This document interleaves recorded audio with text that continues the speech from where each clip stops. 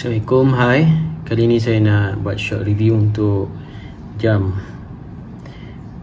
si Pathfinder ni Portrait si Pathfinder SPF 51 modul 3546 kalau tak silap ya. Ni kita tengok punya ni jap. Modulnya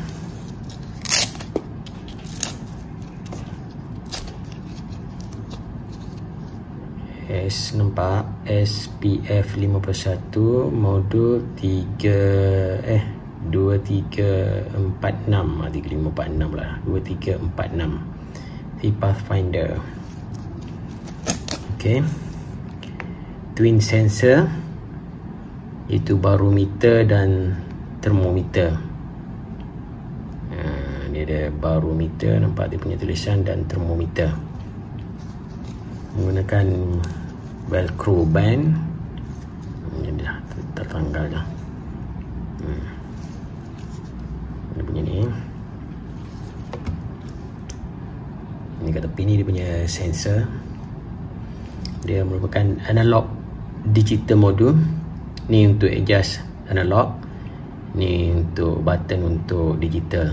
Dia ada button mode adjust uh, ni reset ni apa ni button light eh, ni button light atas ni button reset dia. Dia punya ni lah tak boleh rotate. Ni untuk adjust analog dia. Tekan tarik. Tekan tarik bukan tekan tarik. Ha, boleh pusing kat sini. Ni untuk kita tengok dia punya fungsi kan ni sekarang ni ha, ok ni untuk baru barometer. Bacaan barometer 10.17 ni untuk bacaan temperature 31.8 ok ni untuk recall bacaan baru dan termometer ni kot. Tak keluar dia punya ni tak ada data kot. Ok ha, ni timekeeper. Hmm.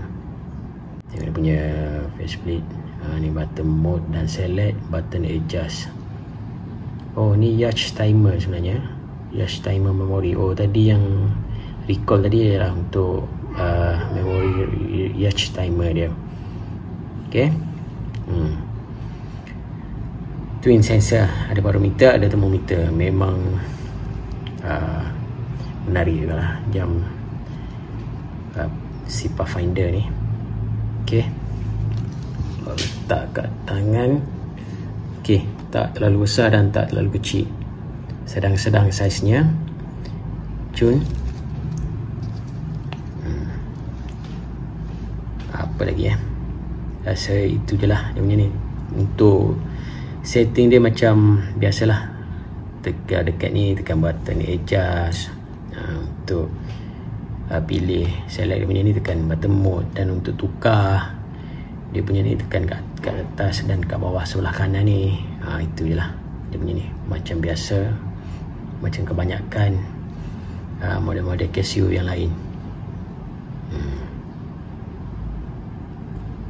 Casio C Pathfinder ha, ok sekian dulu untuk shoot review kali ni ha, sebagai tanda support jangan lupa untuk tekan butang like tekan butang subscribe dan tekan butang notification.